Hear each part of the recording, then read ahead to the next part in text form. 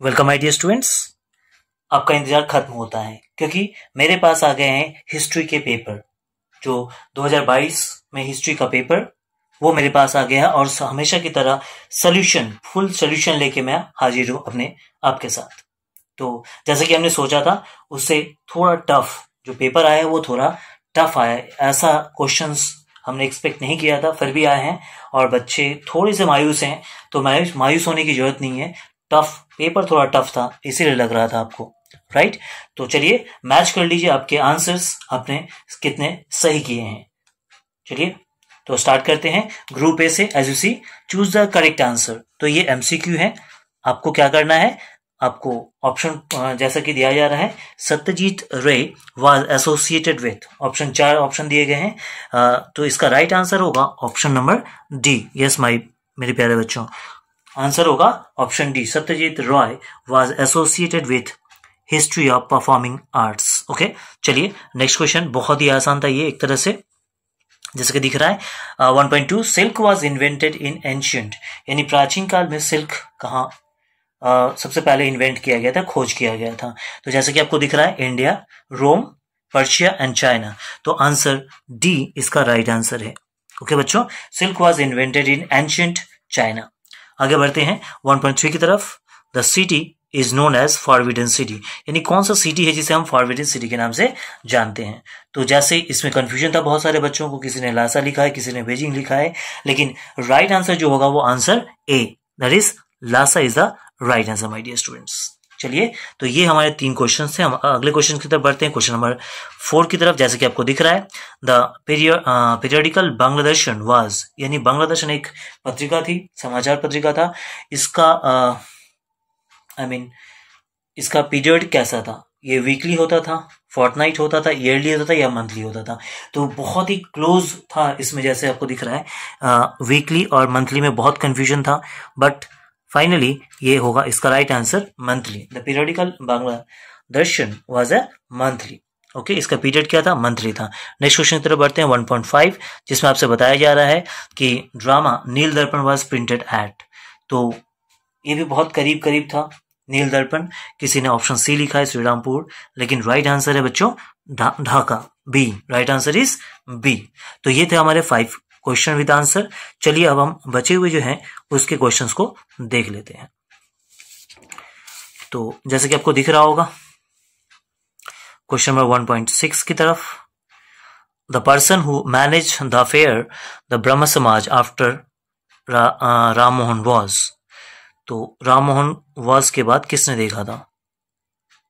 Right that is Debendra Nath Tagore is the right answer फिर 1.7 में the first Bengali newspaper own by a Bengali was कौन सा book था? Sorry newspaper था, जो बंगाली के द्वारा ओन किया गया था। तो ऑप्शन आपको ए बी सी डी दिख रहे हैं चार ऑप्शन है तो राइट आंसर होगा, Samachar Darpan. Yes my dear student the Samachar Darpan is the first Bengali newspaper own by a Bengali understood चलिए, आगे बढ़ते हैं। Next question 1.8 the first Muslim graduate of the Calcutta university यानी Calcutta university university जो है, उस university से first मुस्लिम किसने ग्रेजुएट हुआ था? Right right? तो option A Shahid Amir Ali option B Abdul Latif option C Dilwar Hussain Ahmed और ऑप्शन डी सईद अहमद तो राइट right आंसर है बच्चों option C that is Dilwar Hussain Ahmed next question a revolt against by the Adivasi people against colonial forest law was right तो इसमें बहुत सारा confusion था, बहुत सारा कन्फ्यूज़न है। लेकिन मुझे जहाँ तक लगता है कि इसका राइट right आंसर है Kol revolution Kol revolution is the right answer next 1.10 the term Sannyasi revolt was first used by Vincent Smith James Mill Warren Hasting and lord Carnavalis. So right answer is that the term Sannyasi revolt was first used by James Mill. Now we move to the next question that is 1.11. The peasant revolution was lasted for the longest period यानी कौन सा peasant revolution था जो सबसे लंबे समय तक चला था option Chunar revolution sorry Chuar Chuar revolution Faraizi movement Sannyasi Fakir revolution और संताल रेवोल्यूशन तो right answer option C Sannyasi Fakir revolution is a peasant revolution which is lasted for the longest period okay चलिए next आगे बढ़ते हैं. Mir Nasir Nisar Ali. Mir Nisar Ali was a leader of ये किस के leader थे? Right right? Wahabi movement in Bengal Bengal में जो वहाबी मूवमेंट हुआ था उसके लीडर थे. आ, फराजी मूवमेंट या सन्यासी फकीर रिवोल्यूशन या फिर इंडिगो रिवोल्यूशन तो राइट आंसर है option one that is Bahabi movement in Bengal चलिए, अब बचे हुए जो पार्ट हैं, उसके बारे में हम जान लेते हैं। तो हमने अभी इतने सारे किए, अब हम नेक्स्ट क्वेश्चन 1.13 की तरफ़ बढ़ेंगे, जैसे कि आपको दिख रहा है। The person was known as ये 1.13 है राइट right? इसका आंसर क्या होगा आपका? तो राइट right आंसर है D that is Surendra Nath Banerjee right is known as Rashtraguru तो क्वेश्चन क्या था? फिर से मैं पढ़ दे रहा हूँ the person sorry the person known as Rashtraguru Rashtraguru किसे हम कह सकते हैं? किसे जानते हैं? राजगुरु के नाम से कौन जाना जाता है? तो राइट आंसर आपको दिख रहा है, जैसे option D that is Surendranath Banerjee is known as Rashtraguru now we move to the next question that is the great revolution 1857 was termed as peasant revolution by whom यानी कौन थे? जिनके द्वारा ग्रेट रिवोल्यूशन को piece and revolt कहा गया है।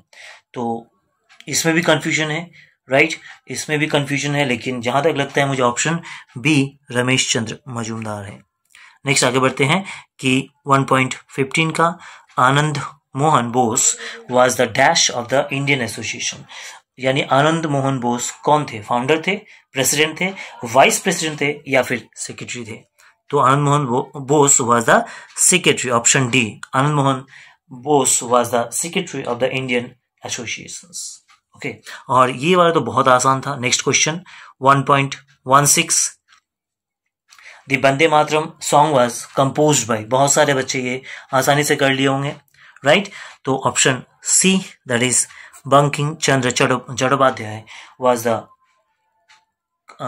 song compose Bande Mataram next Jagadish Chandra Bose the founder of Bose Institute was a professor of यानी जगदीश चंद्र बोस, जो कि बोस इंस्टीट्यूट के फाउंडर भी थे, वो कहाँ, किस चीज़, किस सब्जेक्ट के प्रोफेसर रह चुके थे? मैथमेटिक्स केमिस्ट्री फिजिक्स और बॉटनी तो बहुत सारे बच्चों ने बॉटनी में लिखा होगा, लेकिन राइट आंसर है बच्चों physics physics is a right answer वो जगदीश चंद्र बोस, जो फिजिक्स के प्रोफेसर रह चुके थे। Next the Bengal 1.18 the Bengal Engineering College was founded in यानी बंगाल इंजीनियरिंग कॉलेज कब फाउंड हुआ था? किस साल में? इन विच ईयर तो option C option A 1833 AD option B 1856 AD 1880 AD option D 1903 तो राइट आंसर जैसे कि आपको दिख रहा है option B that is 1856 AD now we move to the next question the 1.9 the first president of the national council of education was, यानी कौन थे? पहले president National Council of Education के, जो कि 1906 में हुआ था। तो इसका राइट आंसर है बच्चों। Option B option B is the right answer चलिए आगे बढ़ते हैं 1.20 की तरफ़। The editor of Digdarshan was कौन थे? दिग्दर्शन, जैसे कि आपको ऑप्शन में दिख रहा होगा, चार ऑप्शन दिख रहे हैं आपको। विलियम कैरी जसूला मासर मार्समैन फेलिक्स कैरी और जॉन क्लर्क मैस्ट्रम तो ऑप्शन डी जो है, वो राइट आंसर है मेरे प्यारे बच्चों। तो आई होप आपको ये सारे क्वेश्चंस विद आंसर समझ में आए होंगे और मैक्सिमम आपका जो कोई आंसर है, वो मैच कर गया होगा। चलिए, बचे हुए क्वेश्चंस को कर लेते हैं। जिसमें सब ग्रुप हमारा 2.1 है तो इसके वन क्वेश्चन है, आपको वन सेंटेंस में आंसर देना है। फ़र्स्ट क्वेश्चन जैसे कि दिख रहा है आपको, बताया गया है in which year was the suspend suspended of publication of Som Prakash temporarily यानी सोम प्रकाश एक पत्रिका था राइट तो इसको टेम्पररी कुछ दिन के लिए सस्पेंड कर दिया गया था। तो वो कौन सा साल था? तो साल था मार्च 1878 क्या लिखोगे? March eighteen hundred seventy eight is the right answer फिर आगे बढ़ेंगे टू पॉइंट टू की तरफ़। Give an example of colonial architecture of Calcutta that is Victoria Memorial Victoria Memorial क्या है? एक colonial architecture of Calcutta Calcutta में colonial architecture द्वारा बनाया हुआ एक बहुत ही बढ़िया चीज़, जिसका एग्ज़ाम्पल है विक्टोरिया मेमोरियल उसके बाद next question in which offence was a convicted Rev James Long तो इसका आंसर होगा कि उन्होंने क्या लिखा था? एक नाटक मंचन किया था जिसका नाम था आ, उसकी वजह से इन्हें क्या किया क्या किया था इसकी वजह से इन्हें नील दर्पण को इन्होंने क्या किया था? अंग, अंग्रेज़ी में अनुवाद किया था जिसकी वजह से इन्हें पनिशमेंट मिला था राइट इनके लिए ऑफेंस था। तो क्या लिखेंगे? ट्रांसलेट द नील दर्पण इनटू इंग्लिश वर्जन इसके लिए जेम्स लॉन्ग को ऑफेंस माना गया था और उन्हें सजा दी गई थी। Next question who was compose the book Vidyaharavali Vidyaharavali. तो विद्या हरावली किसने लिखा था? तो जैसे कि आपको दिख रहा है answer, Felix Carey C A R E Y Felix Carey ने इस क्वेश्चन को आई मीन इस बुक को लिखा था। मेरे कहने का मतलब ये था कि ये ये जो पार्ट था हमारा आई I मीन mean, ये 2.1 पार्ट ये बहुत डिफ़िकल्ट क्वेश्चन आए थे एक को जोड़ के राइट एक बहुत ही टफ क्वेश्चन इजी क्वेश्चन था विक्टोरिया मेमोरियल और जो तीन क्वेश्चन थे वो बहुत ही टफ थे। फिर भी आई होप आप सब इसको अटेम्प्ट कर पाए होगे और आपका जो आंसर है वो मैच कर रहा होगा। चलिए आगे बढ़ते हैं। सब ग्रुप 2.2 की तरफ़ जिसमें ट्रू फॉल्स है आपको चार ट्रू फॉल्स करने हैं। कोई इसमें ऑप्शन नहीं दिया है, जैसे पहला आपका दिख रहा है in India artillery was first use in the battle of Plassey नहीं प्लासी में नहीं हुआ था राइट तो प्लासी में कमान जो होते हैं, वो नहीं यूज़ किया गया था। तो ये फॉल्स होगा। दूसरा है the Mohan Bengal club was won I F A shield I F A shield होता है, जो मोहन बगान फ़र्स्ट विन हुआ था 1981 एडी ये ट्रू है राइट आंसर है।